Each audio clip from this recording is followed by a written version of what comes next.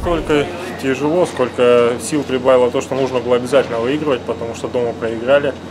Очки нужны были очень срочно и вообще как-то в принципе не солидно было все это, все это выглядело.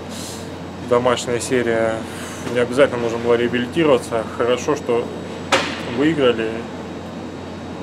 Да, чуть-чуть не хватило, но ну, всякое бывает. И все-таки счет, счет такой, скажем так, в одну шайбу бились, ну, не хватило просто. Соперник играл лучше. Свой матч с Айсбакс, он был сложный как-то для всех, непонятный, немножко сумбурный, после вот опять же после двух поражений.